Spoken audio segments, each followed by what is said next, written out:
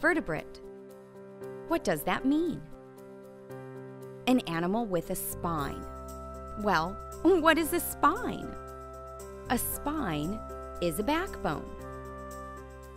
All the different kinds of animals in the world can be classified into two groups. Animals either have a backbone or they don't. And if an animal has a backbone, then it is called a vertebrate. Let's have a look at marine vertebrates. All fish, including sharks and rays, dolphins, seals, and sea lions. These are all vertebrates. Turtles, snakes, and marine iguanas. Even marine birds have a backbone and are considered to be part of this family. Do you have a backbone? Why, of course you do! Your spine runs from your head all the way down the bottom of your back.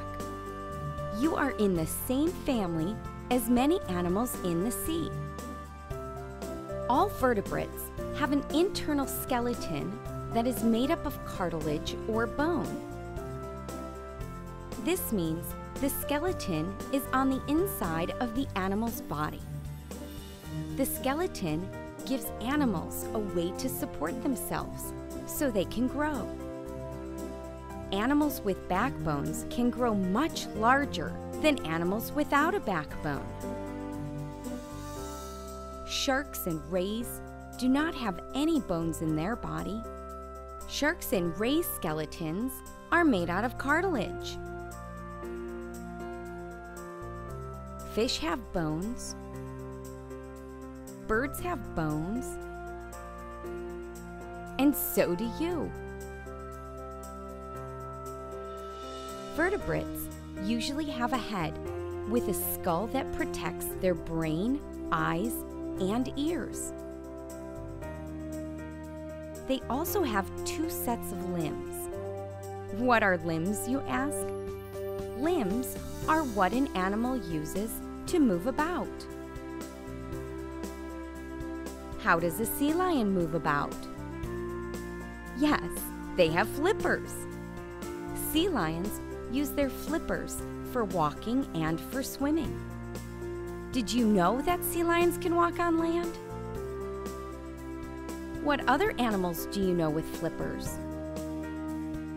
Yes, dolphins have flippers. Anything else? You guessed it. Turtles have two sets of flippers too. What do marine iguanas use to move? They use their legs for walking. They have two sets.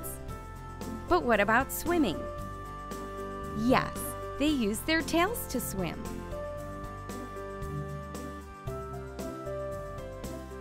Marine birds have two eyes and a beak. But what two pairs of limbs do they use to get around?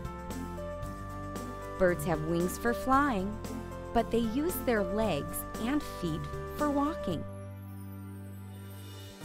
And what does a fish use to swim? Fins. Yes, fish use their fins to swim.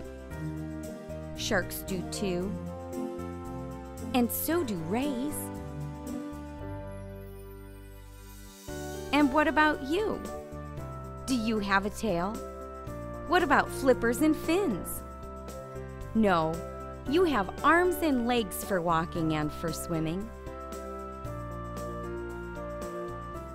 When I go scuba diving, I get to use plastic fins that help me swim. If you dive into your imagination, which marine vertebrate would you pretend to be? And how would you move about?